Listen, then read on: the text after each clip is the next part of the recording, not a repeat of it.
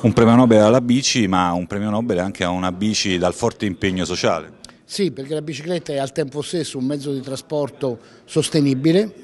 in momenti di allarme smog eh, è difficile non capire che eh, l'uso della bicicletta fa respirare le nostre città, ma è anche un mezzo di trasporto legato alla libertà e ai diritti. Noi abbiamo scelto l'iniziativa è partita da Caterpillar di promuovere per il Nobel con un gruppo di parlamentari, i parlamentari possono avanzare una candidatura per il Nobel e abbiamo raccolto 118 firme di proporre per il Nobel la squadra femminile di ciclismo afghana. Eh, sono ragazze coraggiose che andando in bicicletta ci parlano non solo della sostenibilità dei trasporti ma ci parlano anche di libertà perché in quel paese non è così semplice e eh, ci pare una maniera per tenere assieme eh, l'ambiente e i diritti, un futuro migliore, se vogliamo anche una cura omeopatica anche contro i fatti di colonia per capirci, perché i diritti delle donne eh, aiutano a costruire un futuro migliore.